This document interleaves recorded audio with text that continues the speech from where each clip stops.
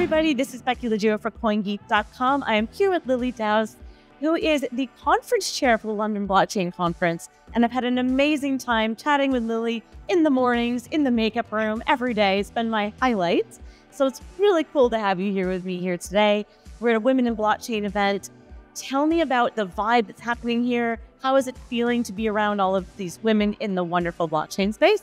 Well, Becky, it's amazing to like meet you here. I've had so much fun. I really think like the energy here is just very much being open and allowing everyone to have their own opinion. I think that's why it's so important to get more women in blockchain is that we need to see things from different perspectives. And I think if we just see it being one dimensional, it's never going to work.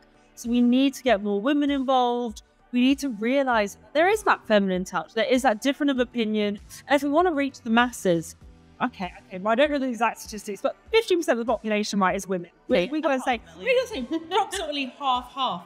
So if we're not including women, we are missing out on a huge part of the population that we need to reach. And, and it is difficult because women aren't always pro risk. We find it hard to get involved in industries that are a bit more risky. We like to keep things as we know it. We don't want to push ourselves outside our comfort zone. And I think we can try and bring more women into the industry and show them that you don't need a specific degree. I think we've seen that tonight with so many amazing women. You don't need to have a special background. You just need to believe in technology, believe in change, and really just want to see a different future. And I think we've seen that gradually. You know, we're getting more women in industry, but as a new industry, we're doing things the right way. And the right way is having equal amounts of men and women. And these sort of events are promoting that. It's amazing. Also, I think people like you who are really in the public eye are really helping with this because other women that see you up on stage, they see your Instagram, they're like, you know what? I can do this. And I think you actually have a degree in chemistry, and you, which we learned in the makeup room, by the way. And so this, you somehow got involved with blockchain, you found it exciting, and here you are. So tell me about your experience actually at the London Blockchain Conference. You've been on stage, you've seen a lot of the crowd. Who is there? What are we? How are we doing with women being included with this event? And what's your perspective from the stage there? Honestly, it's it's been amazing. I, I say that I travel the world. I see different jurisdictions, how they operate, how they're embracing blockchain, and for me, I'd never actually worked in London before. I'd traveled the world, but I'd never come home to see what's happening here. And I was always kind of maybe a bit negative that I see London being quite archaic. I worked in corporate finance after my chemistry degree. So I see it being very male dominated, institutional. I worked in the city. I just saw suits all day, people looking super professional, the banking industries, the lawyers.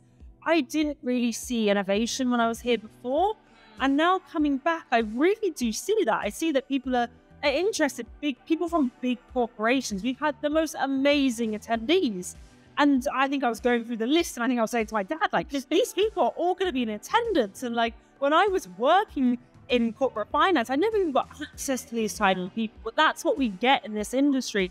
We get to actually showcase our version of innovation and how we think we need to change the world. Like, I turn up in trainers and I'm casual and I'm myself. And that's a beautiful thing is that we all can have an opinion. It's a new industry. Bring your opinion bring your ideas and change the world together. And we're a community. It's not just, you know, people from different businesses. I heard today someone said, Oh, yeah, they are my competitor, but I'd love to chat with them and, see how we can work together. When does that ever happen? Never. When does anyone say, I'm going to chat to my competitor and see if together we can build something better?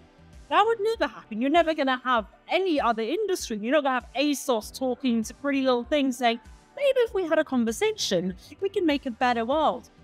Absolutely not. We're in blockchain. That's we're all about. We want to create this better world that we want to live in, and it, and that's what we're doing. I think London blockchain is a big proof of that. It's diverse. There's a mixture of people, yeah. and everyone's been so kind, so mm. nice, and that really is important because it makes my job much easier.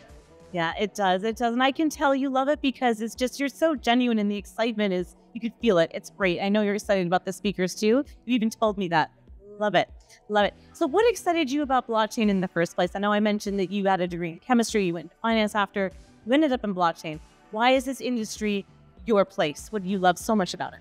Well, I think the fact that I do find it very inclusive. I know we've still got a long way to go, but I do think we're really changing that mindset. We're both into fitness, and I think Now I'm seeing a lot of events doing like yoga as part of what they're they're achieving. You can go for walks with people.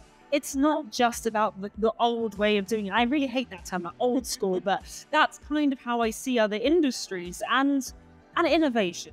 For me, being part of something that changes all the time keeps me on my toes. I want to be challenged. I want people to say to me, oh, well, that's already launched. You said this. You should have said this. I love that. I want to be challenged. And I think Steven was even saying that today. As, a, as human beings, we love being challenged. And that's what this industry gives me. Gives me a challenge. And I see the changes. I see the progression. And I sit there on a daily basis and someone's telling me an issue. And I think we could either, either use AI, blockchain, yeah. we could we could tokenize. There's something we could do within our industry to make that better. And if you keep on seeing that, it's incredible what we can do. And yeah, you introduced Steven Bartlett. You introduced Scott Galloway. Oh my God. it was pretty. Yeah. yeah, that's on my little list now. Like coolest things I've done. That's up there.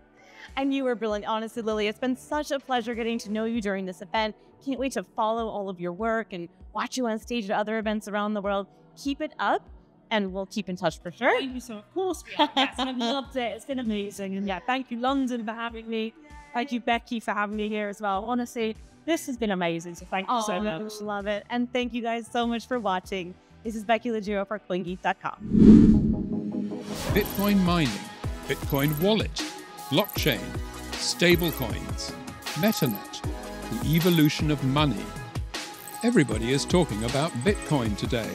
But what exactly is it? Learn the basics from experts. Learn what Bitcoin is, how it works, and why it matters. Blockchain 101 Your ultimate guide to the fundamentals of blockchain.